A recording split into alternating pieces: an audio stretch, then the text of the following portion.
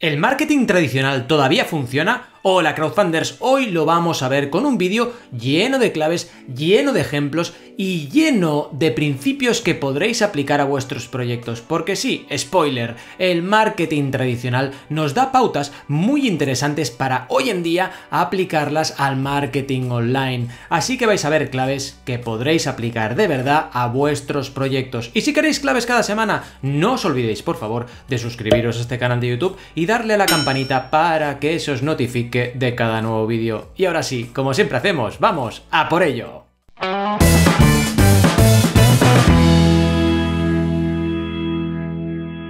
Bienvenidos y bienvenidas al canal de Bana con YouTube. Hoy hablamos de marketing tradicional. Sí, aquel que me enseñaban en la universidad. Ya tengo 45 años y hace tiempo se hablaba de un marketing lejano, perdido en los tiempos de la Tierra. Pero sí, un marketing que todavía funciona. Veremos conceptos como el marketing mix, veremos conceptos como la segmentación clásica del marketing o cómo enfoca el marketing tradicional el hecho de tener un problema y una solución a cualquier cosa. Hoy veremos todo ello ya mismo con ayuda de la red de redes y un montón de ejemplos. Vamos allá, crowdfunders. Aquí tenéis la fantástica, increíble y maravillosa presentación de hoy. Empezando, como siempre, por el principio. Sí, que será una cita célebre, en este caso de Garth Brooks, que si no le conocéis, ahora os dejaré el enlace en Wikipedia. Pero antes, vayamos a esta pedazo de frase, que dice, aquí tengo mi idea de marketing, trata a la gente como te gustaría que te trataran a ti mismo es una reflexión importantísima porque detrás de esto está la empatía, señores y señoras. La empatía que tanto se está perdiendo y que es tan importante en el marketing bien entendido, aquella capacidad que tenemos de ponernos en el lugar de la otra persona, algo fundamental en el vídeo de hoy. Y antes de seguir, sí, Garth Brooks, aquí le tenéis, un crack entre los cracks que además, cantante, estadounidense, música country, me acabo de enterar que está por delante de Elvis Presley en número de venta de discos en solitario, algo increíble que no sabía. Así que echadle un vistazo a este artículo en Wikipedia y todos los artículos que veréis en este vídeo, que podréis encontrar en el artículo que acompaña este vídeo dentro de banaco.com. Y ahora sí, como siempre, vamos a por la primera clave de hoy, que es que narices buscan tus clientes, tu público objetivo. Esa pregunta que siempre hacemos en marketing. Hoy veremos el binomio problema-solución. El ponerse en primera línea, la importancia de estar en primera línea en esa calle comercial que todo el mundo busca y potenciar la relevancia, algo que hoy en día tiene mucha importancia porque la gente está harta de ver totalmente soluciones a problemas que no existen. Así que vayamos en primer lugar a ese binomio. Sí, tenemos que buscar soluciones reales, lo que uno mismo usaría para solucionar un problema de su día a día. Y lo que ya se conoce, por favor, intentad siempre emprender, lanzar un nuevo producto o servicio, siempre y cuando conozcáis de lo que estáis hablando. Y si no, informaos bien antes de lanzar un nuevo proyecto. Cuando lo hagáis por crowdfunding, como veremos en el ejemplo primero que vamos a analizar, tenéis que conocer de qué estamos hablando. Aquí veis un juego de mesa, un juego de mesa que lo que hace es la mecánica del trivial aplicarla a las mujeres porque resulta que en un trivial clásico, y si no me creéis probadlo, la cantidad de mujeres que salen emprendedoras en las respuestas, o deportistas, o de cualquier otra disciplina, es muy bajo. Entonces, aquí te encuentras un problema. Lo conoces y sabes que hay un montón de mujeres relevantes en la historia de la humanidad. ¿Qué haces? Creas un juego para solucionar ese problema. Y está perfecto, pero atención, debes conocer, y en este caso mis clientes conocían, cómo producir un juego de mesa. Porque si no tienes ni idea de cómo producirlo, te vas a encontrar con retos que no vas a poder superar. Y si te falta información, infórmate bien antes de lanzar tu campaña. Recuerda que en un proyecto de crowdfunding nos hace falta un prototipo real, nos hace falta controlar los costes, tenemos que conocer nuestra política de precios, tenemos que conocer el canal de venta online, etc. Así que como veis, el marketing tradicional, este marketing que nos explicaba lo que era un binomio de problema y solución, sigue vigente hoy en día. Y podemos aprovechar esta vigencia para adaptarla al marketing online y al crowdfunding. Pero sigamos porque tenemos más en primera línea. Tienen que encontrarnos. Una vez tenemos la solución a un problema, debemos hacer que nos encuentren. Tenemos que tener un escaparate bien brillante, bien bonito, bien lleno de cosas que la gente dice, wow, lo quiero. Y tenemos que tener una buena atención al cliente. ¿Esto en qué se traduce en el marketing digital de hoy en día? En tener una web que se pueda encontrar. Por lo tanto, no subestiméis el poder del SEO. Buscad palabras claves que os puedan posicionar y trabajad el crowdfunding también como una herramienta de posicionamiento. Pensad que todas estas campañas que estamos viendo constantemente en el canal también posicionan en Google. Si tienes éxito en tu campaña de crowdfunding, seguro que tu marca será más notoria y te la podrán encontrar mucho más en todo Internet. Así que, de nuevo, el marketing tradicional sigue vigente en este aspecto. Y para acabar tenemos la relevancia. No podemos plantear cosas inútiles. Si hacemos un juego de mesa, que sea un juego de mesa que nos ayude a aprender una nueva realidad.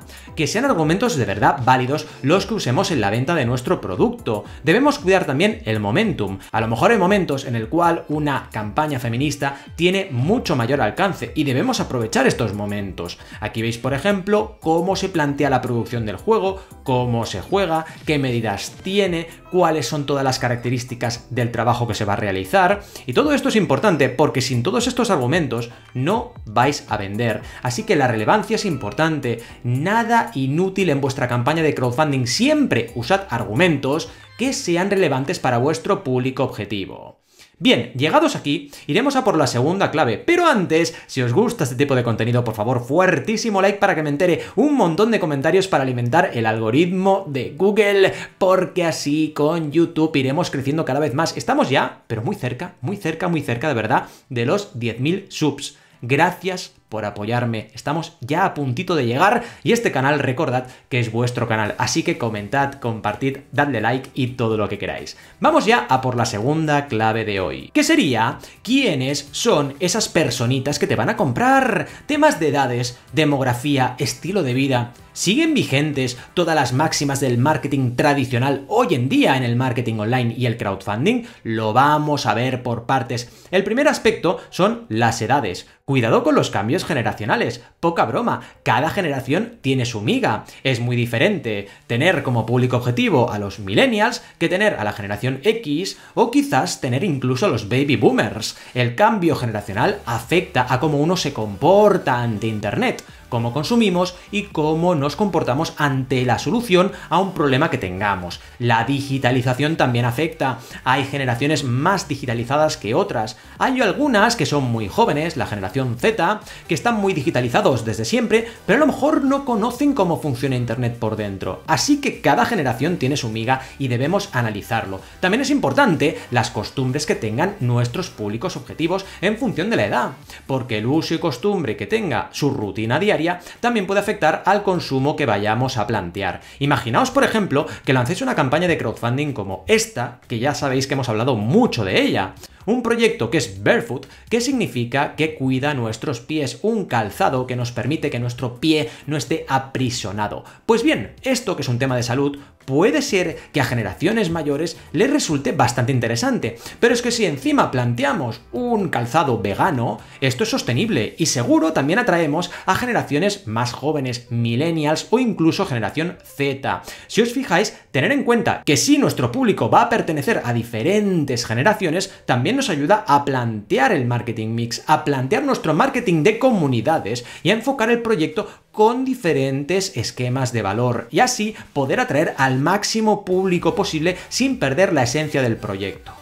Pero sigamos porque tenemos otros aspectos clásicos como la demografía. ¿Quién no ha oído hablar estudiando marketing tradicional de la demografía? Intereses por sexos, porque sí, somos diferentes y podemos encontrar diferentes intereses. También la situación cultural que pueda tener una demografía concreta o incluso problemas locales. Es que hay muchos proyectos de crowdfunding que son muy locales, se envían solamente en una ciudad o en un país. Esto pensad que es real, no significa que por vender por internet tengamos que abarcar todo el mundo, para nada. Hay ocasiones en las cuales un proyecto enfocado a nivel local funciona mucho mejor que un proyecto enfocado a nivel internacional. Además, optimizamos los envíos, conseguimos enviar de forma mucho más segura porque conocemos al país o a la ciudad al cual vamos a dirigir nuestros envíos y esto hace que el riesgo de equivocarnos en los costes de envío se reduzca muchísimo, como veremos en la tercera clave. Y ahora vamos al aspecto del estilo. ¿Por qué? Porque el estilo de vida también puede variar muchísimo. ¿Qué hace en función de la demografía cada día esa persona?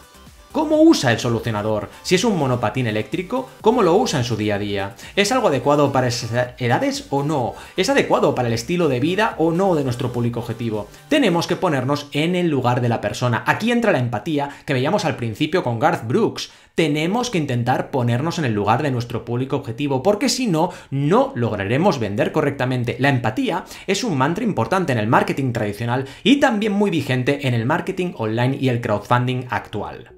Y así vamos a por la clave número 3, que es adaptarse. Debemos adaptarnos y esto el marketing tradicional lo hacía siempre muy bien y lo sigue haciendo bien a la cultura, al idioma y a la moda, sobre todo cuando planteamos campañas internacionales. ¿Os pensáis que antes Internet no se vendía internacionalmente? Por supuesto que sí. Y así iremos por partes. El primer punto de adaptación es la cultura. Hay diferentes aspectos en cada cultura y siguen vigentes a pesar de la globalización. Hay referentes culturales distintos y hay líneas rojas que a lo mejor no podemos pasar. Aquí fijaos, tenemos un ejemplo interesante de un cliente con el cual tuvimos unas ventas en Japón increíbles. Un saxo en miniatura que te permite practicar saxo en cualquier lugar, con una app que te permite escuchar el saxofón y que permite que no molestes a nadie. ¿Sabéis? Una anécdota. ¿Qué me pasó en Japón? Entre muchas otras cosas, he ido dos veces a Japón y espero que pronto una tercera con la familia.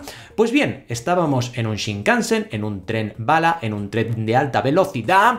Y me di cuenta que delante había un cartelito que ponía Cuidado, no hagas ruido cuando piques las teclas de tu ordenador. No hagas ruido al picar las teclas en tu ordenador. Esto en España es ciencia ficción, pero fijaos, el tema del ruido acabamos de ver que es importante para este proyecto. No hace ruido a la persona que está al lado. ¿Y os pensáis que no se vendió este proyecto en Japón? Pues sí que se vendió. Japón como top 1 de países en venta de este producto, algo que no esperábamos, que nos sorprendió y que nos sirvió para adaptarnos a esta nueva realidad. Entonces fijaos la importancia de los temas culturales en cada país al cual dirijamos nuestra campaña de crowdfunding y nuestra comunicación. El idioma, por supuesto que también es importante, no siempre va a valer 100% en inglés, habrá culturas en las cuales no va a valer, entonces tenemos que ver el grado de conocimiento de cada idioma en el público objetivo en función de su país y también Valorar opciones multidioma, porque hay campañas de crowdfunding que pueden hacerse en más de un idioma, en según qué plataformas, y esto nos va a servir para adaptarnos aún más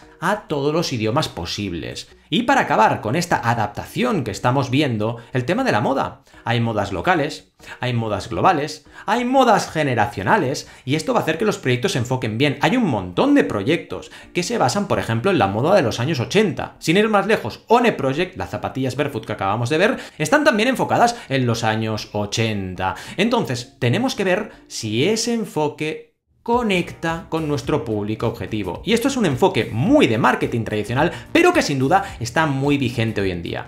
Así llegamos a las conclusiones del vídeo de hoy, donde hemos visto, en primer lugar, que el marketing tradicional funciona, que nuestro querido marketing mix, producto-servicio, precio, canal de venta y comunicación todavía está vigente y no paramos de repetirlo en este canal. Solo hay que adaptarlo, solo hay que verlo a nivel de online, solo hay que a la nueva realidad. Pero el marketing tradicional nos va a servir de guía para enfocar nuestros proyectos. Una guía muy sólida que lleva años consolidándose y que seguro será muy útil para vuestros proyectos.